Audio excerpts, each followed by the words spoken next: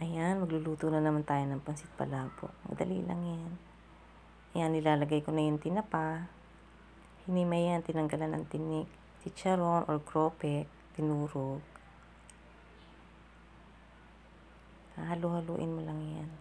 Chicharong baboy na dinurog.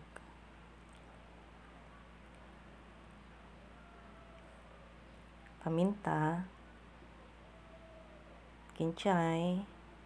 Binlunch ko yan sa mainit na tubig. Tapos hard-boiled egg. Yan. Tapos toasted garlic. Marami. Masarap. Ano yun? Uh, kalamansi at saka patis. Yan. Pag kumpleto na, halu-haluin na. Madali lang gawin yan. Ina-assemble lang siya. Inire-ready mo lang lahat ng sahog. At pag na-ready mo na, pagkahalu-haluin mo na, ayan, ang sarap.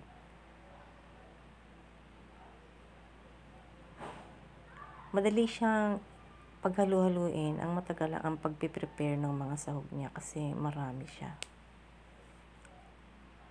Siyempre, yung, yung bihon niya, yung palabok, yung medyo malalaki.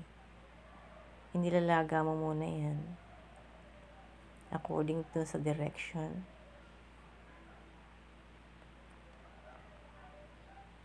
Ayan, malapit na. Halo-halo na lang. Tapos yung lasa, nasa sayo na yan ano, kung gusto nung matabang or maalat, nasa sayo yan. Ayan na, ready na.